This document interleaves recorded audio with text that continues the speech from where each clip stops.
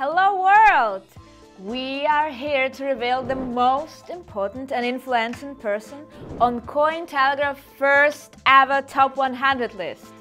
He grew up in a small village without electricity or running water. He's 99.99999% sure we are all living in a simulation.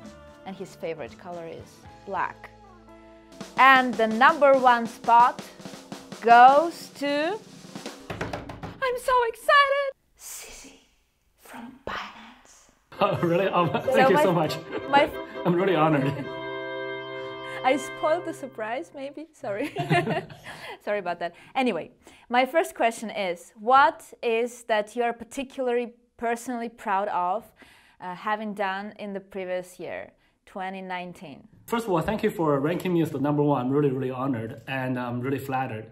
Um, I think I got chosen probably because what Binance did and what the Binance team did. So I think the thing that I'm most proud of is really just leading the team and well, just bringing the team together. um, um, and just sort of uh, uh, uh, constructing that team, keeping the team together, setting a, a very rough general direction, and then um, um, just making sure everyone's going in the same direction. Um, in terms of the real execution work, I really didn't do that much. Um, but 2019, uh, Binance did a lot. Uh, Binance uh, as a platform, from the IEO in January to uh, De- Binance Chain in February, Binance Dex in April, Margin in May, June-ish, um, and um, what else? Um, July or something, September with futures. Um, so there's a lot of stuff that Binance did um, to eh, in in the bottom of the bear market that sort of pushed things along. So I think people in the crypto space generally really appreciate that the fact that we're, we're always pushing the industry forward. So we, or at least we do our part to do that. Um, there are many other players who do that as well. So we, we want to work together to push this industry forward. So um, other than just sort of just um, putting together a really good team and then leading them forward, I personally didn't really do that much, but the team did a lot of a lot of really hard work. Uh, okay, so what are the plans for 2020? Sure, sure. Um, yeah, uh, absolutely. So, uh, 2019, I, uh, uh, to be honest, we've been really, really focused internally to building the products out. Um, so there were many, many product launches. Um, for 2020, um, there's going to be a lot of stuff. Uh, there's still continue to be a lot of product uh, uh, building and launches. So the open platform initiative is quite key. Um, so we're, we're basically providing more and more platforms for our other business partners to enable access to crypto for the retail. So it's more, uh, before we were more like a B2C model, whereas in 2020, we're moving towards a B2B2C uh, model where we're working with other partners to enable the uh, consumers to come into crypto. Um, so we'll, we, we have a number of initiatives in that area. Uh, we continue to pushing futures, which is a very low cost way of trading. Uh, it is somewhat high risk in terms of the liquidations.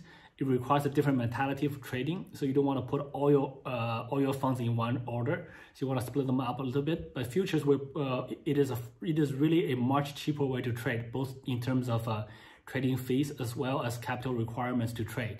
So we're do, uh, we're pushing futures very uh, uh, aggressively, and um, we're also doing something that other people are not doing with futures traditionally. We're enabling futures for many of the altcoins.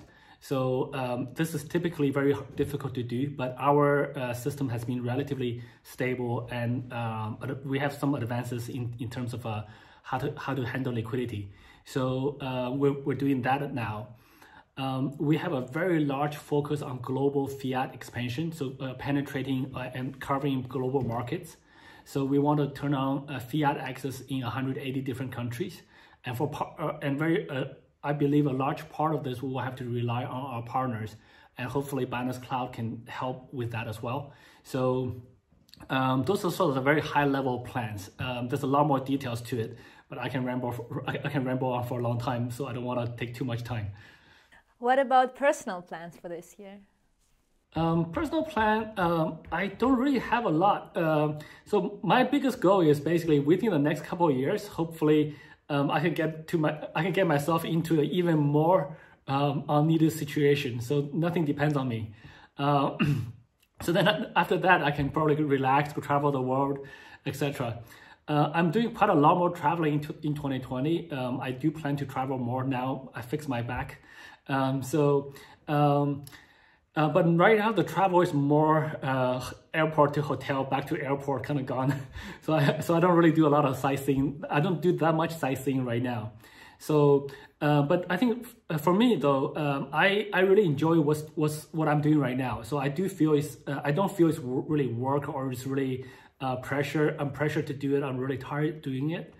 I feel I'm really lucky to have the chance to be doing what we're doing uh, which is to increase uh, access to crypto, increase the freedom of money uh, for people around the world. So that's something I'm really, really energetic about doing. I'm, I just feel I just feel really lucky to be in a position to be able to do that.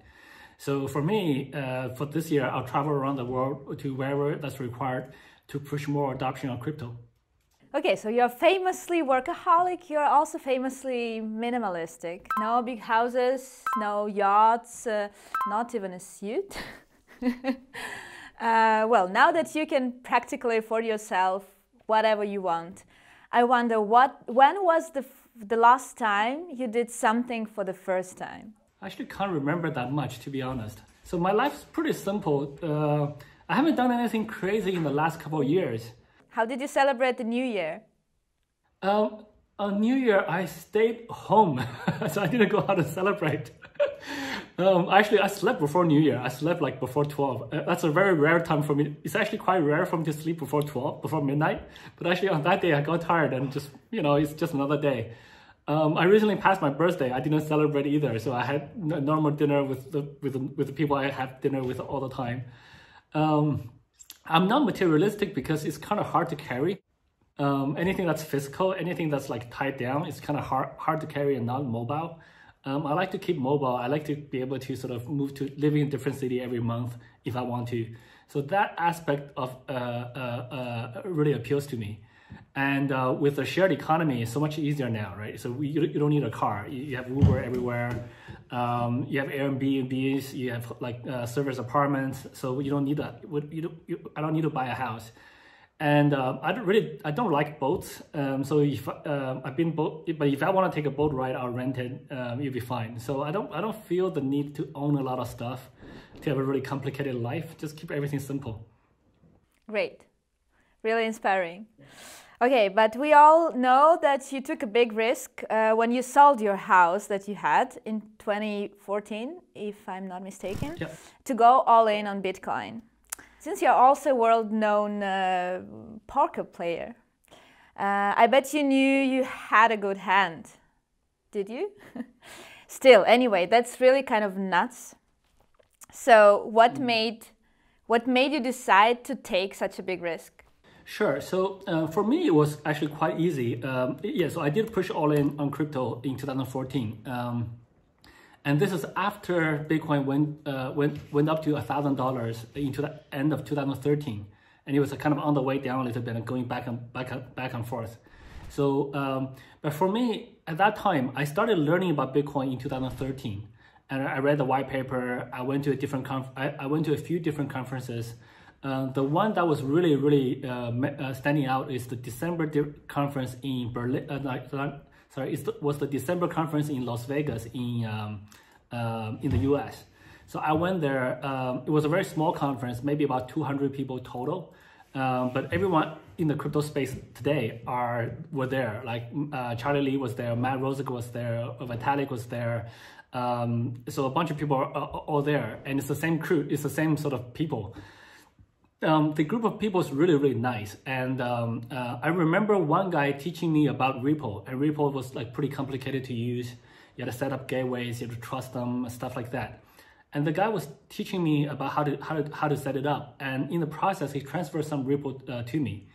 And um, when I was done, I was like, okay, now I understand how to use it. Let me transfer these coins back to you. He said, well, no, you, you can keep it, and um, um, you can you can use it to teach the next guy.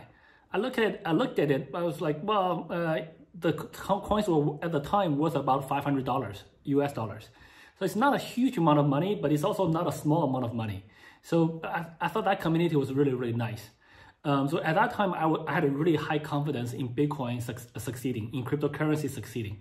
So I understood the technology, I understood the financial uh, aspect of it, and you had you already had a really nice community community behind it. And also for me personally, the situation was um, I sold my house. Uh, not only did I sell my house, I also quit my job. Um, so no house, no job. Um, uh, but I, was only jobless for two weeks. So I was looking, I quit my job before getting a new job, but I was looking for jobs in the cryptocurrency uh, space. Um, I bumped into uh, blockchain.info very quickly and landed a job there in two weeks. So my, uh, for me, it was like, okay, I can sell my house. I, I can live without, uh, I can, I can, I can afford to pay rent and I can afford to take care of myself and uh, whoever else, my family that I need to take care of just by uh, just by my uh, salary. And um, even if uh, the cryptocurrency goes down, I can always go back to the banking industry and get a job there. I'll be fine. So it's not it's not like I took a job where uh, I, uh, my living standard would be severely impacted. I was again I was not living luxuriously, but I was I had a uh, I had I had a decent lifestyle. So it wasn't like not, it's not luxurious, but I had decent food, decent place to stay, etc. So for me, the risk was totally tolerable. I know 100% that if even crypto fails, um, I can get a job in a bank. Um, it's, not a, it's not a big issue. So for different people, that risk appetite and that risk situation is different. Um, so I would not recommend people who are struggling to pay off mortgages on their house and who need uh, who needs who needs a guaranteed income from their investments to pay off some loan to sell their house and to go all in on crypto because crypto is highly volatile. But for me, um, so when I went in, I sold my house, bought Bitcoin. Bitcoin was 600 US dollars roughly. Uh, within about three months, Bitcoin dropped to about $200. So I lost two thirds of the house. But my lifestyle didn't get totally impacted. Um, uh, psychologically, there's an impact, but uh, I, my lifestyle didn't, didn't change that much. So, uh, and it stayed at 200 for two years. So two years later, it finally went, uh, uh, went up. Uh, but my lifestyle was still okay. So I was still doing other things and uh, things were things were okay. So basically, my my advice to somebody else is that you gotta look at your own situation. If that if you if you can if you can tolerate that kind of risk, if you can handle uh, that kind of risk, then it's okay. If not, then don't don't push all in like that. Were you always able to handle risks? I mean, you seem such a calm person. I don't know. Do you meditate or was it some learning process for you or you are born like this? So I, um, I'm, a, I'm, I'm always a very calm person. So uh, um, in my working life, so in Binance, I've never shouted. I've never shouted. I've never yelled at any, anybody. I've never sort of became really sort of agitated.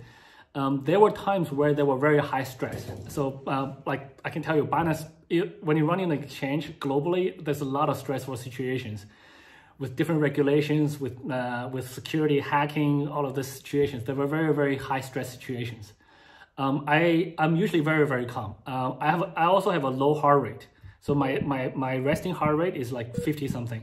So um, and uh, in my working career, uh, I never really I never really yelled and screamed uh, at other people either. So I have a I have a calm demeanor. Uh, I don't know why, just sort of that's just the personality, I guess. I don't meditate that much. Uh, I tried it. It's kind of I find medita meditation a little bit boring to be honest. I don't need I don't I don't need it. I'm already I'm already very calm.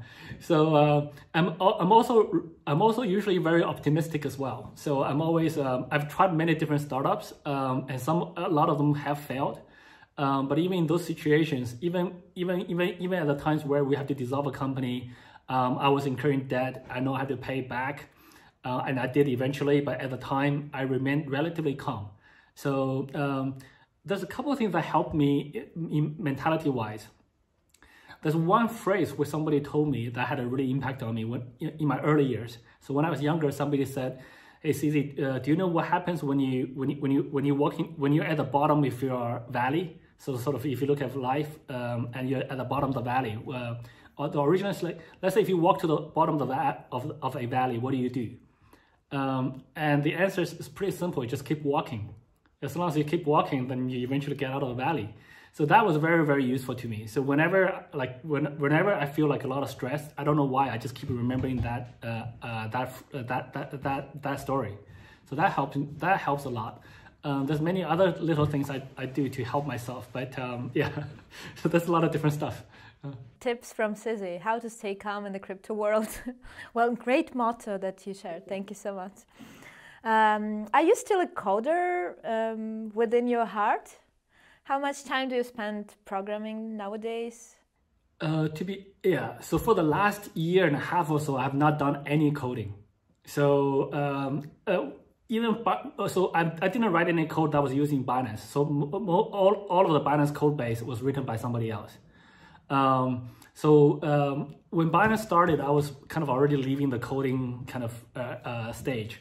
Um, whereas even in the early years of Binance, like two, like a year and a half ago, I still wrote some scripts to do some, to do some random stuff for myself uh, not so much for Binance. But uh, in the last year and a half or so, I haven't really, really had a lot of chance to do coding at all, uh, which is really, um, which is something I really want to go back to and try. But uh, with coding, you gotta have a chunk of time that you gotta sit down and look at a stare at the computer screen uninterrupted. Unfortunately, right now my time is really, really segmented. So like, there's a lot of interrupts. Um, I, I, I tell other people that now I have a memory of a goldfish. Like I can't remember anything belong, like longer than seven seconds. so, so, everything's like in segments. Um, but uh, it is what it is. It's it's kind of what the job is right now, and it's okay. I'm fine with it. So hopefully, in a couple years, when things settle down, I can go back to learn learn some new programming languages and learn to code. But do you think that in the modern crypto industry, in order to found uh, a startup, it's better to have a programming background or an MBA? Um, I think both are okay, to be honest. I think we have seen successful ca uh, cases in both cases. Um, having a technology background really helps on the, I would say you typically want to have both, to be honest.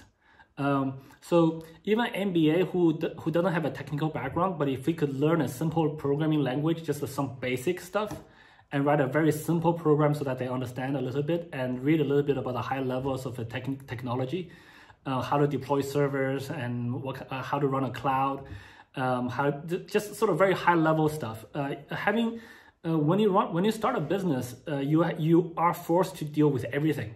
You got to deal with technology. You got to deal with business. Uh, you got to deal with business models, BD, business development, and deal negotiations you got to deal with marketing, you got to deal with service, customer service or post uh, product uh, sales service. You got to deal with compliance, legal, accounting, finance, HR. So you have to deal with a lot of these things. Um, I would say I'm not, today I'm definitely not an expert in any of those areas. But as an entrepreneur, as, as an entrepreneur or, or like a CEO or, or a leader of an organization, you have to know a little bit in each, in each place.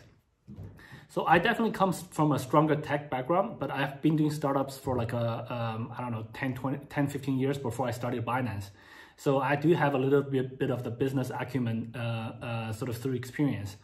Um, and then uh, the other stuff, like all the HR, admin, finance stuff, uh, they're, they're important as well. So I'm not super strong in any of those areas. So I rely very heavily on our back office uh, uh, staff for those, for those areas. So uh, I think basically you need a little bit of uh, everything uh, when you want to run a startup. Two years ago, you told us that you try very hard not to be number one because it entails a lot of problems, stress, as you said also today, especially with regulators. Uh, so do you still agree that it's difficult? Uh, do, is it still difficult for you uh, to be this number one or you just gave up and decided it's okay? So no, actually, so Today, I think uh, the uh, so two years ago it was mainly the regulatory uncertain, uh, uncertainty um, uh, uh, uh, and and also not enough. Um, crypto is only the beginning. Crypto is not really widespread, so crypto um, still only reaches a very small percentage of users. So I think the situation on the situation on, on the regulatory front has changed a lot. I think today uh, many governments are pro blockchain, pro cryptocurrency. There, there, there are much clearer regulations on how to run a cryptocurrency exchange and what, what to do and what not to do, etc. There's still a lot of room to improve and there's just a lot of uncertainties, but today is much, much better than two years ago. So I think today it's okay to sort of push forward, get market share, and you will not be the lonely one at the top, then all the regulators go to you. Um, but today um, it's actually much harder to do that because there are a lot of exchanges uh, all over the world, and you have to compete with literally uh, thousands to be conservative, even uh, probably more uh, exchanges all around the world. So, um, so, uh, so, so, uh, so I think the risk of being the, the, the biggest exchange is, is much much smaller now. But at the same time, it's much harder now to be the really big exchange. All the other exchanges that are uh, competing very fiercely. Um, so I think that's changed. Um, but we're still at the early stages. We want to see more exchanges because right now, for example, all over the world, if you can see more exchanges, we can see more people coming into crypto. And most of the local exchanges will not be able to provide the full suite of products that Binance provides. For example, if you look at futures, margin, staking, lending, a lot of these products are very hard to do for smaller exchanges where they mostly focus on fiat to crypto, mostly like the local fiat to Bitcoin. And if they can do that well, they, they, they, they, they make the cake for us bigger as well. So we encourage other exchanges to, uh, to, to, to, to come in, to, to, to launch and to, uh, to, to, to run their businesses. So that's kind of the situation today. Okay, thank you very much. You are definitely one of the most famous crypto people in the world. Um, so my question is, do you like being a public person? What is the most exciting thing about this? And what is the biggest challenge for you? So um, to be honest, if I had a choice, I'll probably choose to be, um, personally, I would choose to be like not famous. But um, I think for our, like the way we started our business, we did an ICO. Um, so we had to have a public face. We were raising money from like public, right? Um, so we raised money from like 20,000 people. Um, and uh, so we need a public face. And for Binance to continue to grow, having a face uh, is uh, does help. Um, I hope there. I was actually hoping there would be a better face. To be honest, uh, I don't think I'm a super good. I don't think I'm a very good public speaker. Um, I also don't think I'm a very. They're, they're much better looking people, much more polished people, but unfortunately for for for Binance, it's me. so so uh, Binance well, is kind of stuck with me for now. That is not true. You are a great speaker. Yeah. So public speaker. Yeah, so but um, uh, but I think because we do hold people's uh, we do hold custody of the funds. So Binance.com is a is a custody exchange. We hold custody of people's crypto, and having a face uh, is really really helpful for establishing that trust. That's just human psych psychology. I know we're in an industry that technically we don't need trust, but um, there's still a lot of trust that's needed in a lot of different places, um, and uh, also almost every other Binance person doesn't like to be too public. They all like to be like really, they're, they're already hands, uh, heads down, uh, working on uh, delivering, building products. So I'm kind of forced to be the public face. So I'll do what I can. okay.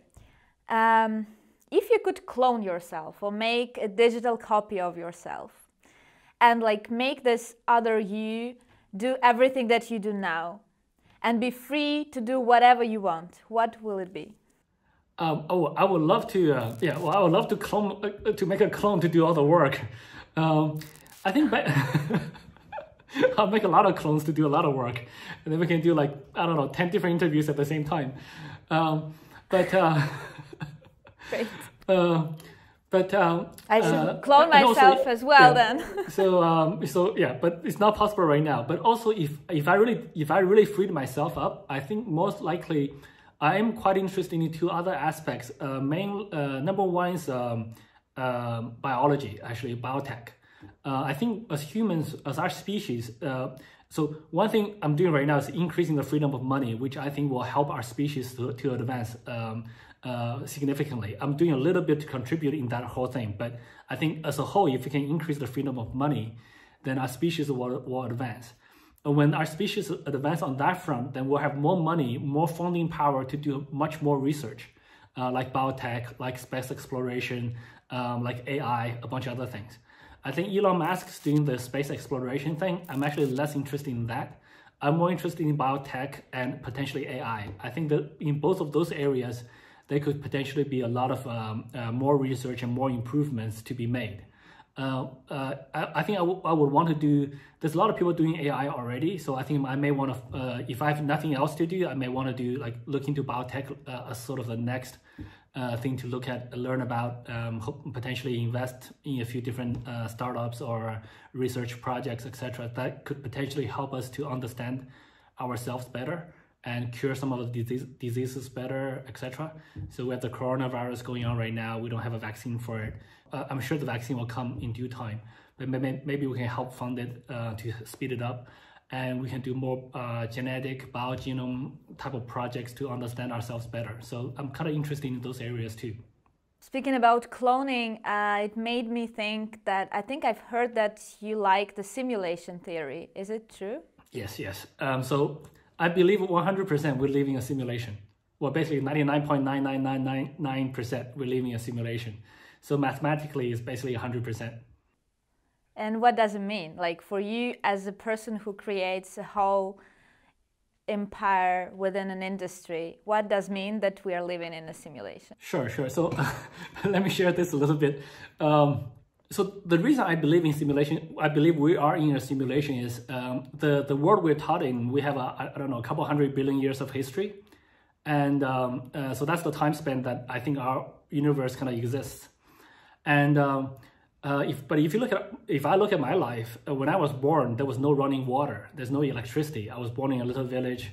Um, and then when I was a kid, uh, so when I was a kid, I was pumping like water out of the well. Um, so uh, later on, we had running water, we had electricity, we had computers, we had cell phones, uh, we had AI. Uh, we now have Alexa, um, all, all, this, all this advanced stuff. Um, but that just happened in the short history over the last 40 years. And um, if, it, if, I, if I think about the next 40 years, um, would, would it happen where, uh, would it be possible for, for me to say, hey, I want to lie down there and I want to simulate my life again? I think we, we probably will be able to do that. Um, and we'll, and um, there are other simulations that's going on as well. Uh, for example, we simulate, say, look, if you look at Nintendo Super Mario, we can simulate the guy moving forward and moving backwards. Um, the, the tricky part is I don't know what kind of simulation we're in. Are we simu being simulated by a, a, a, higher being in a different dimension, or are we just sitting, uh, sleeping there, uh, dreaming, uh, simulated by our, our, ourselves or our own, uh, our own kind? Um, but um, but either way, both of those simulations are possible, are guaranteed uh, within 100 years from now. And if you look at, like, say, 100 years, let's say 500 years, right? So in 500 years, that's that guaranteed to be possible with the speed that technology is advancing right now.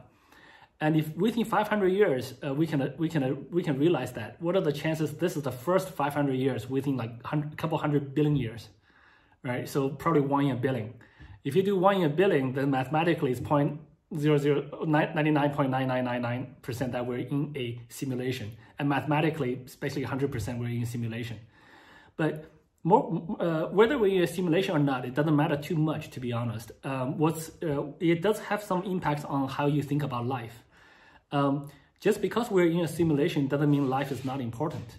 Uh, it doesn't it doesn't mean that if, if I die, I, will wake up and nothing matters. Maybe we're in that kind of simulation, but we don't know. I, at least I don't know. Um, so maybe we die. We like Super Mario. Super Mario dies, but he doesn't jump out and talk to me. Um, he the next respawn may or may not be him. We don't know.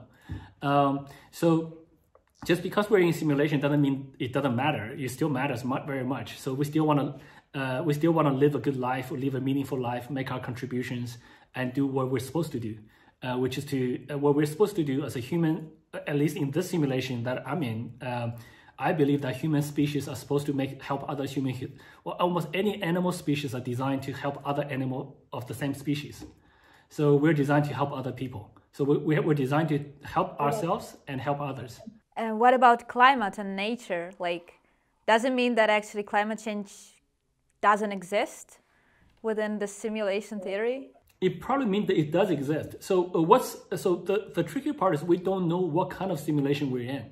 So we could be in a simulation only partially, some things are partially simulated and some things are not simulated. Um, and even if we're in a full simulation where everything's simulated, uh, the climate problem is still a problem that was thrown to us.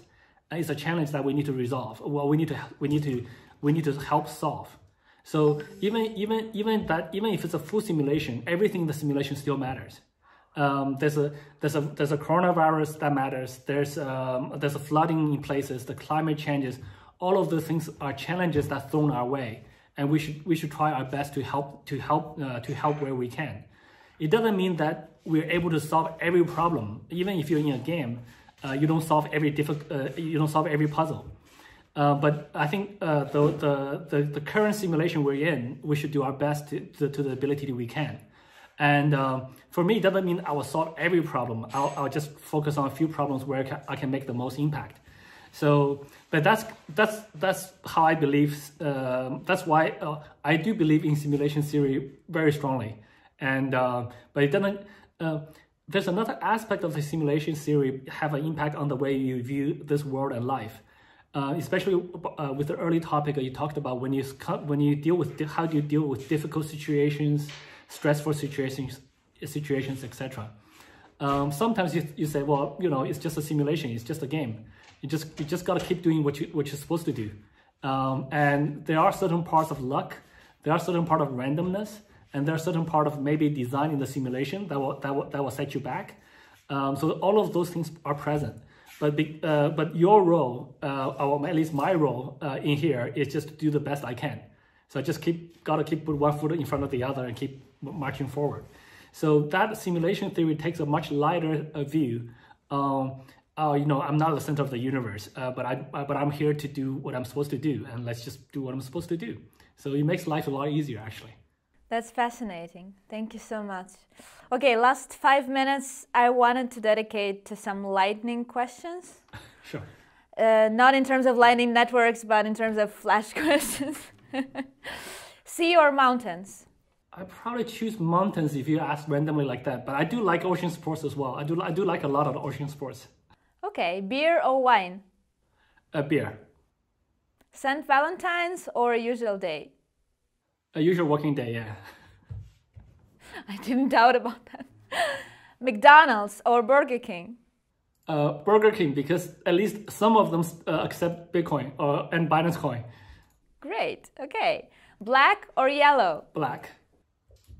Okay, because we share the same colors within our logos, you know. yes, yes. Actually, I have a I have a Cointelegraph hoodie, and the colors are the color scheme is the same. Yeah. Okay, snowboard or work? Uh, I think now it's mostly work. Uh, I really I really enjoy snowboarding, but you can't snowboard all the time. You can do like a couple couple days a year. Yeah, it's good enough. Okay, the last question: simulation or reality? It's definitely simulation. Yeah, we, we are in a simulation. There's there's no reality. Thank you so much. There is no reality, but there is CZ, the, the winner of Top 100 of Cointelegraph. And I'm very happy to have passed this uh, hour with you. Thank you so much. That was a great pleasure. Thank you so much for having me. Cheers. Thank you. Thank you, everyone. This was CZ. And check the full article on Cointelegraph.com. And don't forget to like, subscribe, and hodl. Cointelegraph. Like, subscribe, and hodl.